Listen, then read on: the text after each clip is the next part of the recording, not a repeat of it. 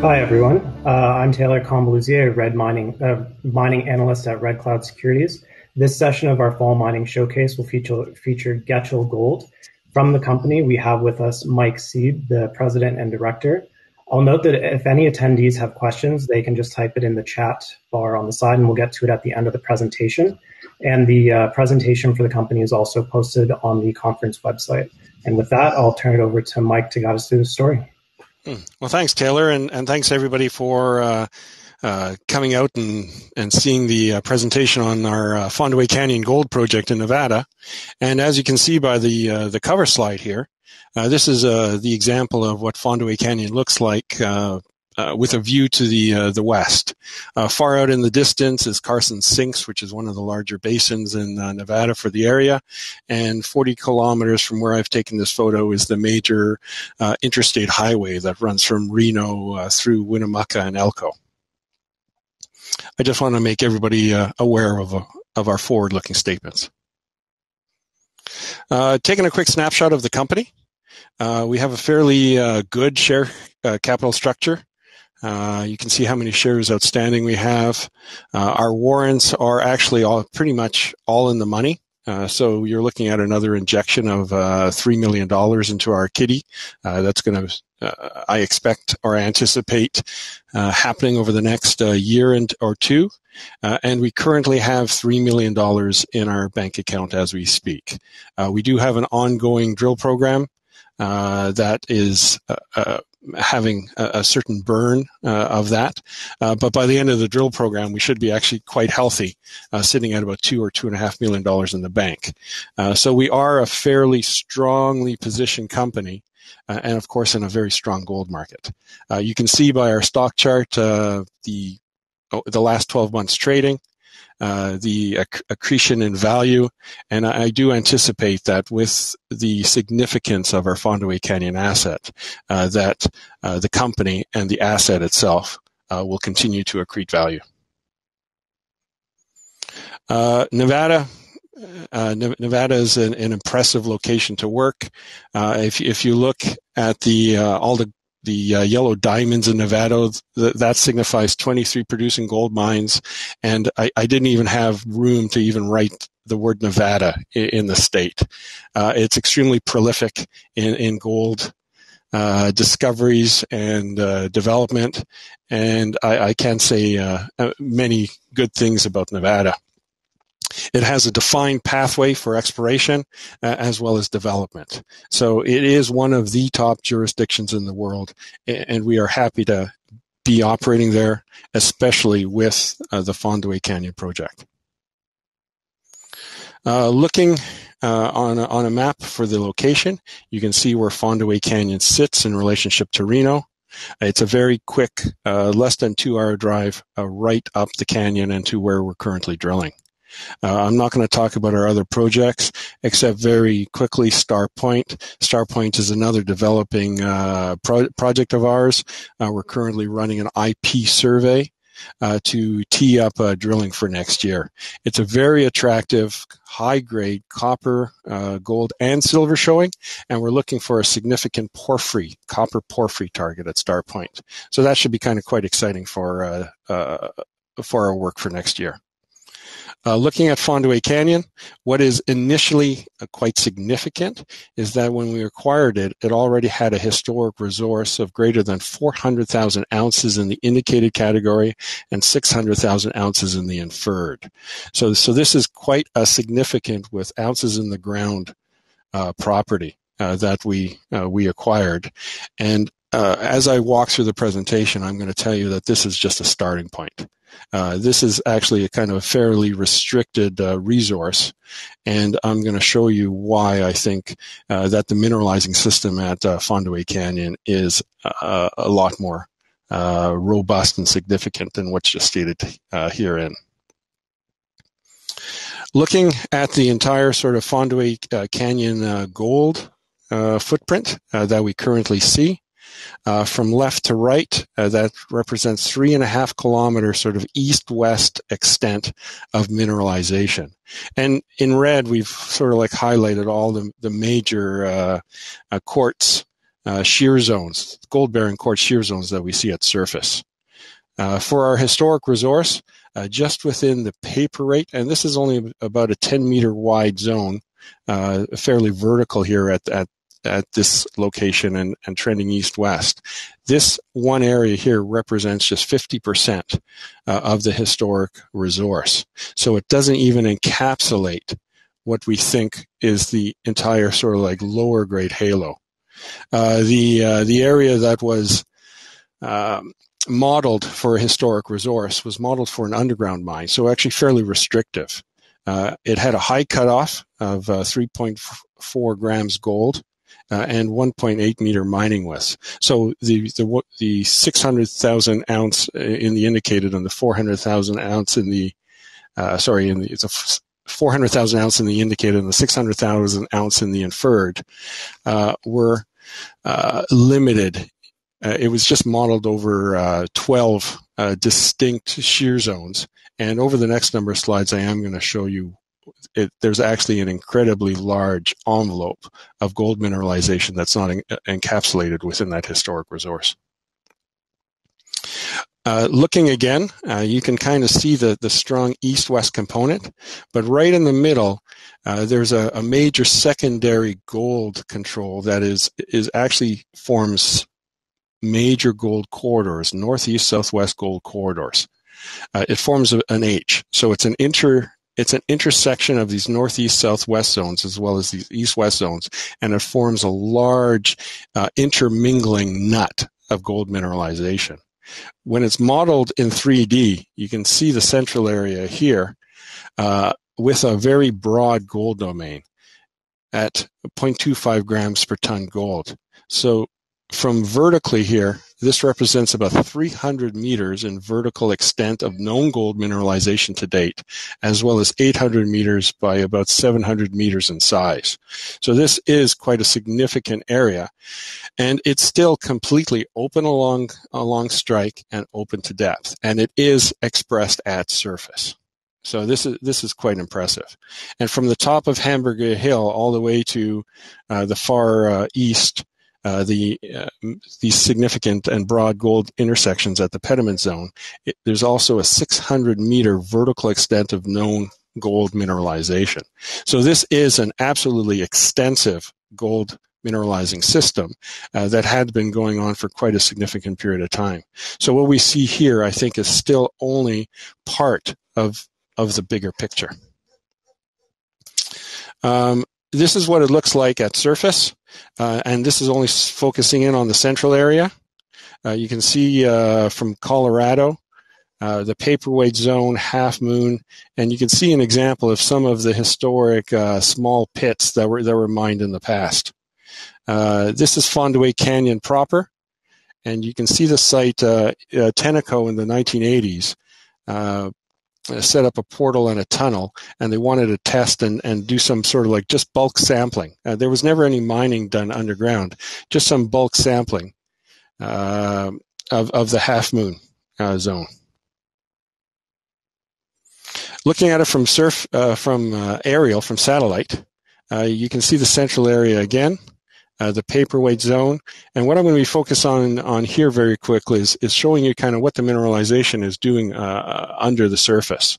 So I'm going to go from section to section from B to B prime, and then from C to C prime. Uh, these northeast southwest corridors, and, and this is sort of like the main main gold corridors that we see in this area. And then I'm going to focus in on sort of like what the high grade looks like because there, besides the um, the low grade envelope that we see here, uh, there there is sort of significant high grade conduits, and the half moon shear zone is a is a prime example. So you can see all the past drilling. The past drilling has been focused near surface um, at the Colorado. Uh, multiple multiple drilling uh, for the entirety of the property. You're looking at over 700 uh, drill holes. Uh, most of them have been uh, focused on near surface. The most recent drill campaign uh, was in 2017. And 2017 was just starting to test the downward extent of the mineralization. And this gives you a, a, a real good example of, of what the mineralization is doing as it extends down from Colorado. You're seeing 2.8 grams per ton gold over 65 meters and 1.8 grams gold over 63 meters. And we anticipate and, and in our geological model, uh, that rather than being vertically uh, constrained, uh, you have this continuation of the mineralization that dips at a very shallow minus 20 degrees uh, for a, a, an extensive uh, distance. Uh, for example, in uh, hole 1701, right at the bottom of the drill intersection, came up with 1.3 grams over 56 meters. Right in the middle, there was an old Homestake hole that was drilled in 1985 that came up with better than a 100 meter intersection. And so what we're going to be doing is we're going to be actually proving up the known mineralization, but we're actually going to be starting to connect the dots with our with our current drill plan, and we're going to be extending out and connecting up this mineralization and really sort of like like building on the uh, the historic resource. Uh, this is the parallel uh, section, uh, northeast southwest section to the uh, east from Paperweight all the way to the south pit, and it has the same characteristics very, very broad uh, mineralization that is all through this section. Uh, back in 2017, at the far uh, left of the section, uh, there was a broad, there was an intersection uh, that ran 3.5 grams over 12.8 meters right at the bottom of the drill hole. And once again, according to our geological model, if you follow the dashed orange line, this should all connect up and form a really significant broad zone of, of mineralization. Uh, looking what it looks like underground. So this is specifically the half moon shear vein, uh, high grade, uh, upwards of, you can do channel samples upwards of an ounce uh, material. Uh, it's, it's not a distinct quartz vein, but it is a distinct gold zone that you see underground. the portal was driven in into the, the northern slope of the, the hill. and this example here is the last face of the underground drift right along the half moon shear vein, 75 meters below surface. But this, again, is only a small part of the picture. The historic drilling has continued to extend the mineralization at depth greater than 250 meters below. So again, this is a very continuous gold mineralizing system that continues to express itself as we drill. An example of what the, when I say a kind of a high grade conduit, an example is this is the underground drift uh, that was developed in the in the late 80s by Tenneco. Uh, these are the advancing faces and a, a, composite channel sample of the advancing faces.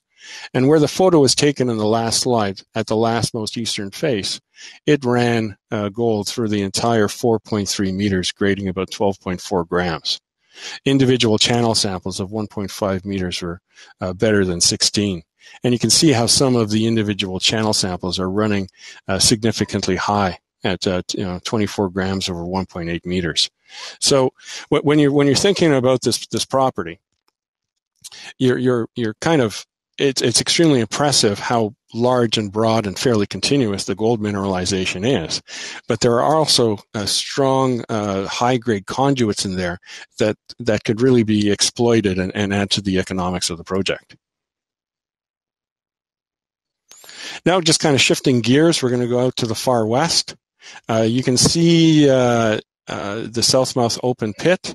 Uh, this is the site of uh, sort of like the majority of the small scale open pit uh, mining that occurred at the Southmouth here.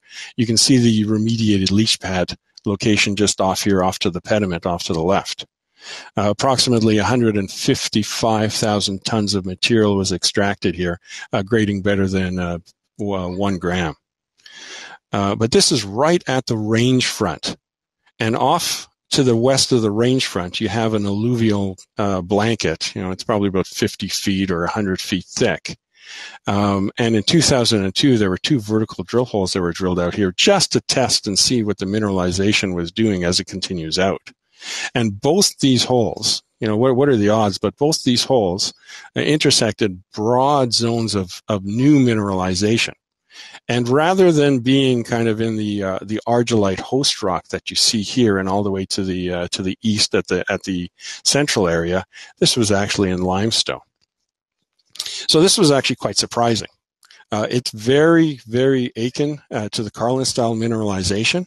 And, and, if you were to drill these two holes first in a program, you would be very excited, very impressed with these two holes uh, because we don't even know what's underneath there this can be a whole other significant uh, uh, source or zone of the mineralization, and and it is in sort of like the excellent uh, host rock, expressing it very very similar to uh, the Carlin style mineralization that is uh, that is mined to the north. So this is an additional target, and it's a target uh, unto itself. So, kind of putting it all into perspective, um, this is a really extensive gold mineralizing system. Uh, looking back at the 3D model, what I've highlighted here is I've highlighted the uh, the higher grade material that resides within that broader uh, gold domain. Uh, the red is grading group, uh, greater than one gram per ton. And if you look off to the right, this is what the half moon shear vein uh, looks like at surface. it's running high grade through here. this is a really nice like structural juncture. Uh, the face wall uh, is 15 meters high. And uh, just putting in perspective, underneath where this individual is standing, the gold mineralization goes down for another 200, 250 meters below where he stands. So this is this this is sort of like the start of something for for us. Um, you're looking at uh, you know uh, quite an enticing uh, property and uh, the the footprint and the expression of the mineralization that we've seen to date uh, just just uh, sort of uh, screams opportunity. Uh, we're currently finishing off a 2,000 meter drill program. We anticipate that the drill program will be completed by the end of October, and we're going to be receiving um, drill results from through November and December. So it should be quite a, an exciting end to the year. Uh, and then we're looking for only bigger and better things in, in 2021. So, so for a company, um, if, if, you haven't heard of us yet, uh, it's Getchell Gold Corp. Uh, we trade on uh, with a trading symbol of GTCH. Um, and if you haven't heard of us yet, you will, because we're going to be one of the sort of more prominent new players in, in the Nevada area. So with, with, that statement, I'm going to pass it over uh, back to uh, Taylor. Great. Thank you very much, Mike. That was a great presentation. Um, so kind of continuing um, on the drill results theme, we have a question in here. Um, you know, it says, I'll just read it. Assuming drill results meet expectations, what does 2021 resource, uh, 2021 resource development plan look like? Um, it's the uh, the historic resource did not uh, encapsulate or, or, or, incorporate the 2017 drilling. Uh, so what we're going to do is we're going to then compile the 2017 drilling in conjunction with our 2020 drilling and update uh, the geological model as well as the resource model and kind of bring it up to uh, uh up to current. And so that's kind of one of the first things we're going to be looking at in the new year. Uh, but the other thing is, is I'm, I'm fairly confident. We're, we're, we're in a really good position uh, financially. Um, sort of shareholders, extremely strong shareholder base. Uh, we're looking at probably a significant raise in the new year to really take the project to the next stage. And with the strong gold market that we see, uh, I don't I don't really see anything kind of slowing us down in the new year. It's it's just going to get bigger and better. Okay, and um, another question uh, again on uh, kind of assay results. Uh, we keep hearing labs are backed up these days, especially in Nevada. Um, do you have an idea of when investors can expect initial uh, drill assays? Yeah, I figure mid mid October should probably be the first. Sorry, I apologize. Mid mid November should be the first time we see uh, news, uh, but it should come in a series through November and December. And and yes, labs are all backed up, uh, and it's more due to uh, the people in the prep labs or the shortage of people that they have rather than sort of like the bulk of samples that are that are appearing. Okay. Um, and I guess just really quickly, um, uh, another question: Given the COVID issues, are there key personnel in Nevada right now? There are. Uh, as we are actively running a, a, a program, uh, we have uh, quite fortunate for us. Uh, the COVID has not impacted us whatsoever in regards to our operation and what we want to do. Uh, the majority of the uh, early 2020 was compiling the in the, the large database that we received. Uh, so we're talking about 735 historic drill holes that had never really been kind of pulled into one place in one geological model. So COVID 19 uh, uh, the sort of like the hiatus on operation was actually quite uh, beneficial to us because it gave us the time to to really work together and understand the project, and and we're capitalizing on it by sort of like a very strategic uh, drill program right now uh, that uh, has no wastage to it. It's it's it's doing uh multifold.